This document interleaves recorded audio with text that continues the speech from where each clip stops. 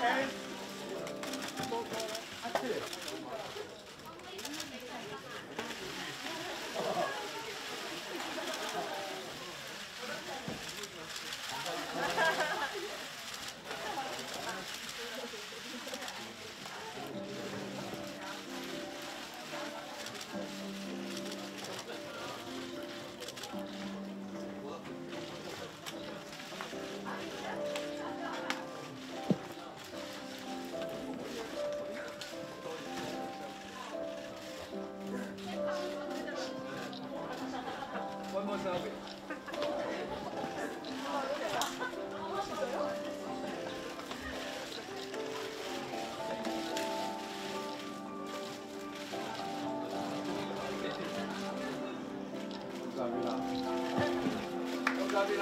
네, 수고하셨습니다.